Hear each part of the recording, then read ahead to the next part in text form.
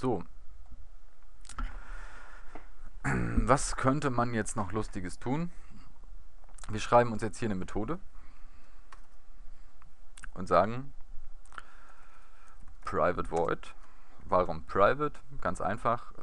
Ich sehe keinen Grund, dass irgendeine andere Klasse auf diese Methode zugreifen soll. Ich brauche sie hier und links woanders, deswegen mache ich das auch hier. Ne? So, und das nennen wir jetzt mal äh, berechne Frame Dimension.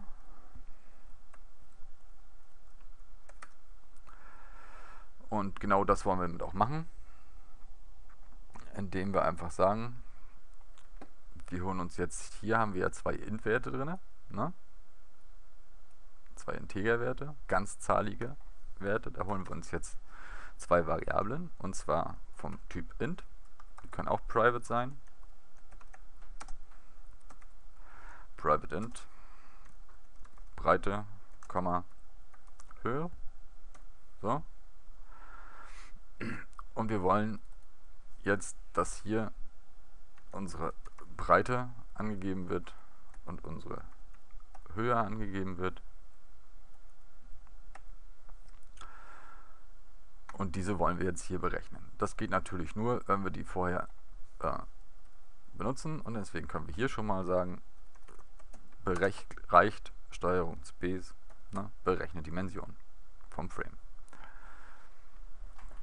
Das Ganze hat auch den schönen Vorteil, dass man seine Methoden, wie ihr hier schon seht, mit einem relativ langen Namen ausstatten kann und trotzdem relativ schnell nachher auf diese Methodenbezeichnung zugreifen kann. Es ist trotzdem schön, weil man dann immer wirklich eine Bezeichnung hat, die aussagekräftig ist ne, und mit der man auch arbeiten kann. Wenn man nur mit irgendwelchen Abkürzungen arbeitet, irgendwann wird man ja richtig bescheuert bei der ganzen Geschichte. So, und das machen wir jetzt nämlich. Warum habe ich gesagt, berechne Frame-Dimension? Weil der Frame auch eine Dimension hat. Das ist ein Variablentyp, den gibt es in Java und den nehmen wir jetzt auch. Der heißt nämlich Dimension. Ich nenne ihn mal Screen Size, weil es Sinn macht. So ist gleich. Jetzt benötigen wir in irgendeiner Art und Weise Zugriff auf die Systemressourcen und das machen wir einfach mal mit Java mh, hm, AWT, nee nicht WAT, sondern AWT. So, dort, dann haben wir das Toolkit. Das ist dort. So, get default to toolkit dot get Screen Size, hier haben wir es. Das ist ein bisschen versteckt in der ganzen Geschichte, aber hey, jetzt sehen wir hier, das ist wieder unterstrichen, weil es nicht importiert ist. Steuerung Shift O, haben wir gelernt, funktioniert. So, jetzt haben wir das und jetzt müssen wir eigentlich nur noch folgendes machen. Wir müssen nämlich die Werte dann hier zuweisen. Wir sagen die Breite, die wir haben. Wir wissen, die Breite ist ein Int. Hier kriegen wir allerdings Double-Werte zum größten Teil. No? Ne? Und deswegen casten wir das Ganze. Das machen wir ganz einfach, indem wir sagen, wir möchten, dass das ein Int-Wert ist. Und das, was wir machen, ist jetzt Screen Size, unsere Variable von da oben. Punkt get width, also ich hätte gerne die Breite von dieser Dimension, die wir dort haben. Also die ähm, Klasse Dimension, die wir jetzt hier als komplexen Datentyp benutzen. Also wir sagen ja Screen Size, unsere Variable Screen Size ist vom Typ Dimension und hat damit auch alle Methoden ne, von dieser Klasse Dimension und da ist eine getWidth, weil es Sinn macht, ne, gib mir mal von dieser Dimension gerne die Breite. So. Und ähm, nichtsdestotrotz ist natürlich doof, wenn wir gleich den ganzen Screen ausfüllen und sagen deswegen mal 0.85. Achtung, nicht Komma, sondern Punkt. Ja, hier nehmen wir einfach einen Double-Wert, mit dem wir multiplizieren. Das gleiche machen wir nochmal mit der Höhe. Auch den casten wir. Da kommen wir vielleicht später nochmal zu. Nehmt das einfach mal so hin. ist unsere Screen Size. Get Height, also gib mir die Höhe. Und da wir uns meistens im 4 zu 3 oder 16 zu 9 oder irgendwas zu irgendwas Verhältnis befinden, machen wir das mal hier bloß mal 0.8.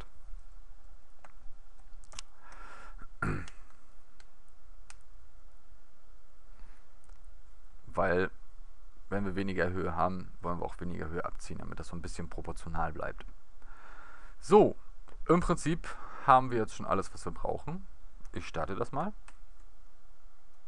Und wie ihr seht, haben wir jetzt ein Fenster, was plötzlich die Höhe von ja, 0.8 von der gesamten Bildschirmausbreitung und 0.85 von der gesamten Bildschirmbreite hat. Also Höhe und Breite. So, was passiert? Wir starten unseren Frame hier, unsere Klasse mit der Main-Methode. Der initialisiert diese beiden Variablen, die übrigens als Default-Wert 0 sind. Ja, bei ähm, primitiven Datentypen, das bedeutet Integer und bei Zahlenwerten halt, also Integerwerte, Long-Werte, Float-Werte, alles was mit Zahlen zu tun hat, ist ähm, der Grundwert 0 bzw. 0.00 und so weiter. Äh, bei äh, komplexeren Datentypen ist es immer das Null, also das heißt, dass dort keine Referenz existiert, so werden die erstmal initialisiert. So. Als nächstes wird der Konstruktor hier aufgerufen. Die sind initialisiert, die haben ihren Speicherbereich und die haben den Wert 0. Da sind wir jetzt. Jetzt wird dieser Konstruktor hier aufgerufen. Danach führt er erstmal unsere Methode von hier unten aus, ne? berechne Frame-Dimension, starte das Ganze, legt sich hier eine Variable an vom Typ Dimension mit dem Namen ScreenSize, holt sich über das Java Toolkit die Screen Size und weist es unserer Screen Size zu.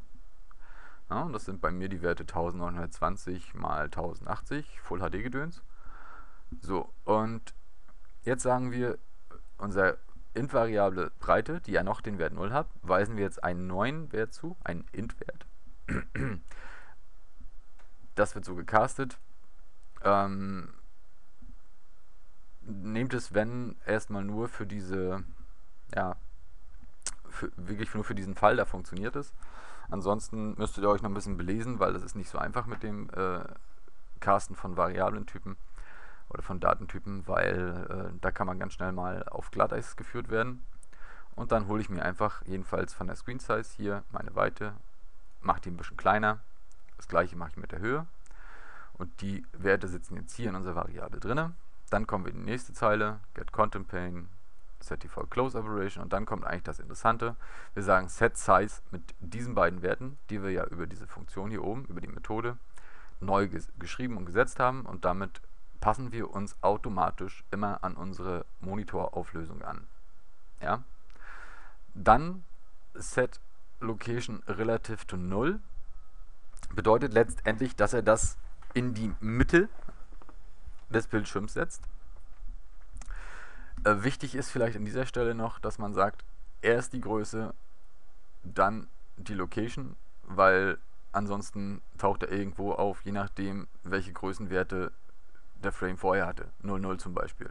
Ne, das bedeutet, dann sitzt er hier unten irgendwo. Hier so. Also, kann ich jetzt hier nicht zeigen. Gut. Ja, die anderen Sachen sind klar. Und ich denke mal, da haben wir auch wieder was gelernt. Wir können auch nochmal folgendes machen. Wir können uns das nochmal die eigentliche Monitorauflösung, nämlich diese Variable Screen Size, hier auch mal ausgeben lassen. Ja? Mit einem System Out Printline. Das mache ich jetzt nicht, weil es Sinn macht, sondern weil ich nochmal ganz kurz auf dieses System Out Printline zu sprechen kommen will. Nochmal anschließend, das geht nämlich auch in Schnellschreibweise, indem man das da schreibt. sysout. Und jetzt drücken wir wieder Steuerung und die Leertaste und schon sind wir in der Klammer von System Out Printline. Und ich kann jetzt sagen, hier meine Screen Size einmal ausgeben. Wir starten das nochmal. Und wir sehen jetzt hier Java, AWT, Dimension, Width 1920, Height 1080.